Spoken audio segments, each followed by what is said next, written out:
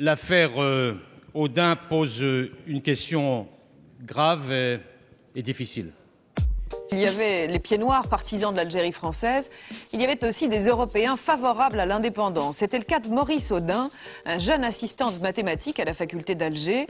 Il militait au sein du Parti communiste algérien, un parti clandestin après sa dissolution par le gouvernement. Établir la vérité est une obligation.